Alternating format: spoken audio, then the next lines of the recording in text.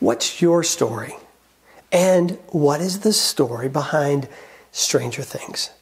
That's what we want to talk about in this second kind of episode in our series of Stranger Things is we want to talk a little bit about the story and helping you understand what your story is and really understand what your quest for power is and then help you understand how to fulfill that story. Or, or maybe in this episode, we're looking more at how you're not getting what you want and where things are going awry for you.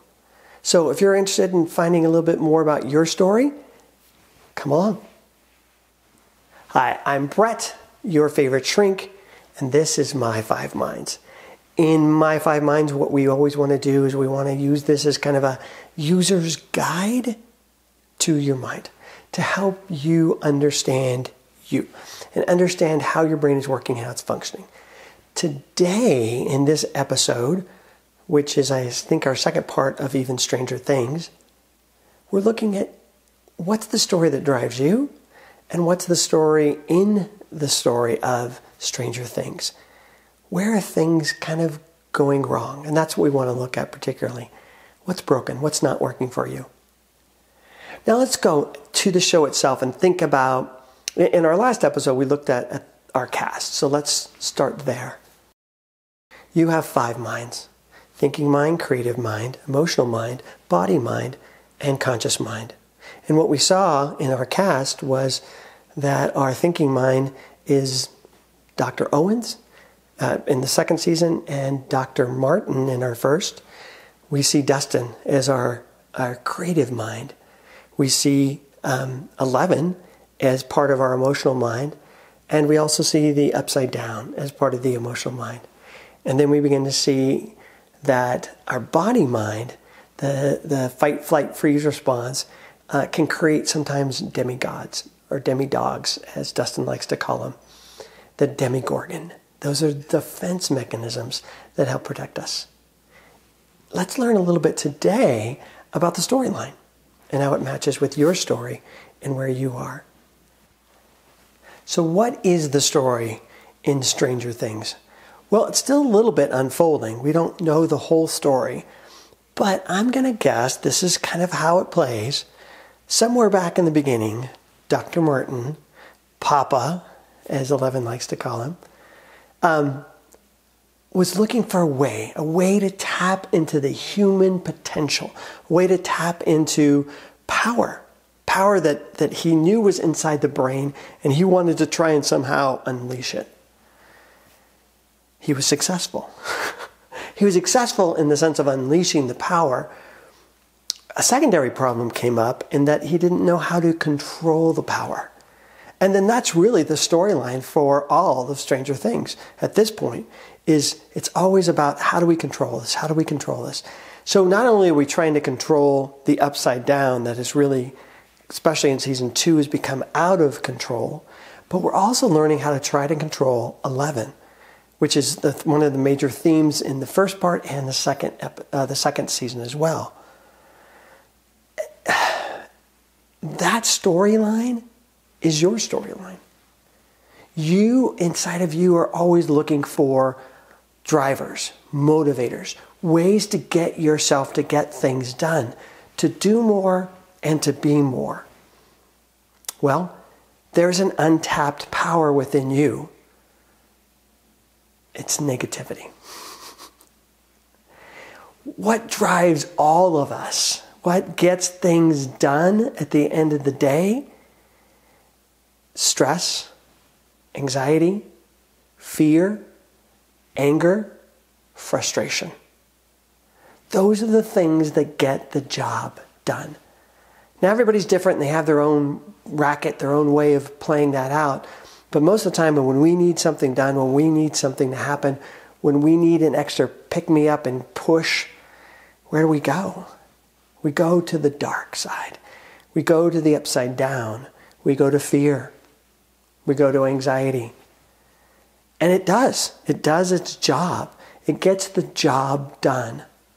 I don't think to myself, hmm, gosh, it would sure be nice if I paid my electric bill today that would be a really nice thing.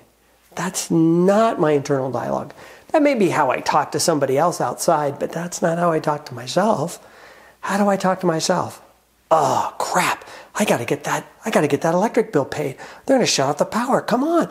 And I start thinking about all these terrible scenarios in my head. That's my driver. Fear, stress, anxiety, anger, frustration. Those are the drivers we use to get things done. Now, the problem with the drivers that we're using is that they come with negative consequences. The upside down starts taking over, it starts taking over our life.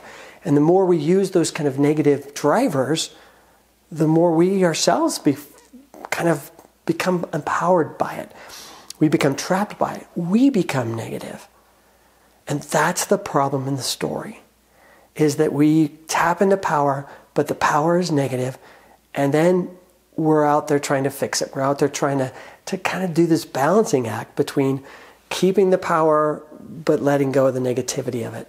And you can't do that. The bottom line for you, the bottom line for me, is that you cannot hate your way to happiness.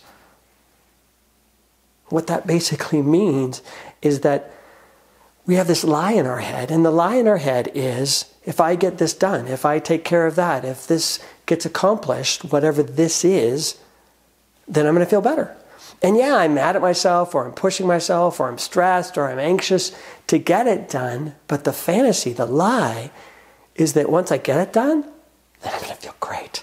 Then I'm going to feel awesome. And then, then the, the end will justify the means. It's a lie. That's not what's happening. What's happening is the upside down is taking over. What's happening is that you're becoming more negative. You're becoming more angry. You're becoming more frustrated. You're becoming more stressed. You're becoming more anxious. That's the problem. And we got to see that problem and begin to take control of it. All right? And so that's what we're going to really work on in this last and third episode. Now, back to lucid dreaming and back to your homework assignment, because that's where we're starting to make some changes too. I want you to go back to your homework assignment. I hope you've been doing it. You've been going through your mind map. And as you've been having your dreams in the morning, you've been writing out in your mind map what's been happening in your thinking mind, your creative mind, your emotional mind, and in your body mind. And you've been able to make your conscious mind more aware of all that process. Now, step two is now I want you, as you wake up from your dreams and you think about your dreams, what I want you to do is I want you to take your dream and introduce a superpower. Now, you're not uh, technically in your dream, you're just waking up in the morning and remembering your dream.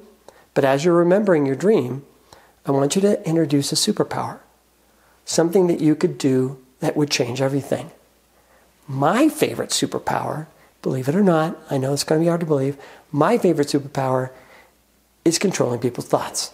I love going into my dreams and then getting into all the characters' heads and then making them do what I want them to do. So instead of hurting me, they're helping me. Instead of attacking, they're protecting. And that's the way I use my lucid dreaming. If you like this video, like the video. If you want to see more, subscribe. And if you're not sure about something or want to ask some questions or want to share some of the things that you've been learning in your lucid dreaming, put them down in the comments. I'd love to see them and love to share them. Again, I'm Brett with My Five Minds. I'll talk to you soon. Take care.